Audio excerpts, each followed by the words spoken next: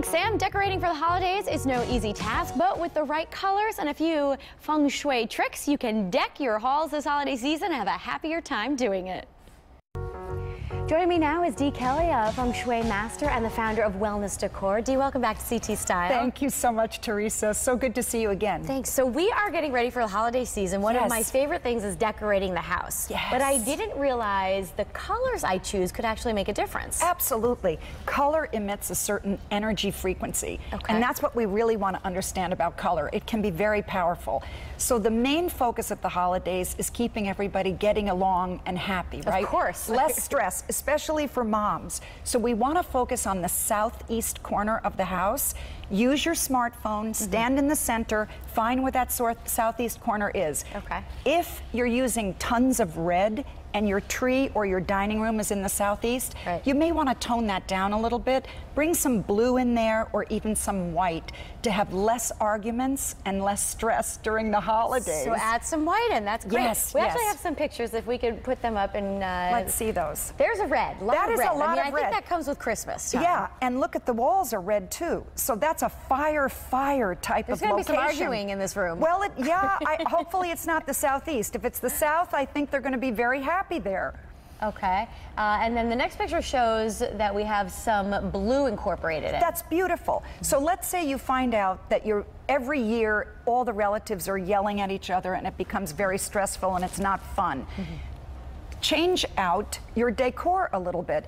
If your tree is in the southeast, use more blues and greens in there and less red, and you're going to find a lot less arguments over Christmas. I think that will help everyone this time I do, year. especially moms, right?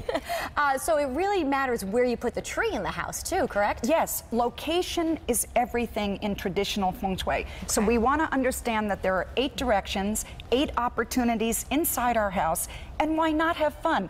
The South, if you bring a lot more red in there at Christmas, mm -hmm. oh my God, it's going to be so much happier.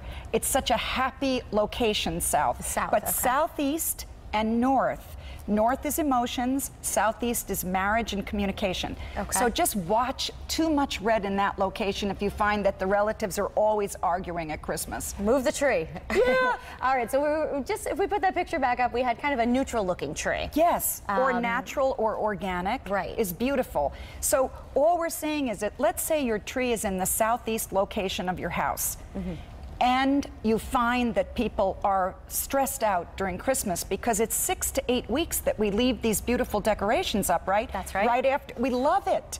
and I love red. But if it is in the southeast and we want to have a calmer, less stressful Christmas, uh -huh. try bringing in natural organics or blues or greens and a little bit less red this year. Okay, sounds like a plan. Dee, let's talk about the. Fabulous bracelets oh, here because they're you. so pretty and thank you so they much. they have a calming effect, right? Well, yes, these are my brand new protection balancing bracelets. I'm so excited to launch those this year. And really, I've been wearing them for 15 years. Oh. Black agate, red agate, and a beautiful Eastern uh, mountain jade. Mm -hmm. And this is real quartz crystal. And there are eight of them for the eight directions. The black is really great for any toxic people in your life negative people, wear one of those black bracelets and it's hmm. highly protective and balancing. Oh, that's good. After you have a baby, mm -hmm. black is wonderful water and it's great for hormone balancing as well.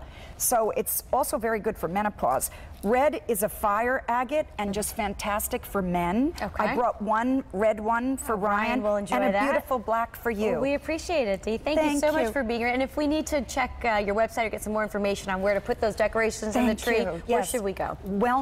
Wellnessdecor.com. Very good. Thanks again Thank you so much. Good to see you. You too. And speaking of decor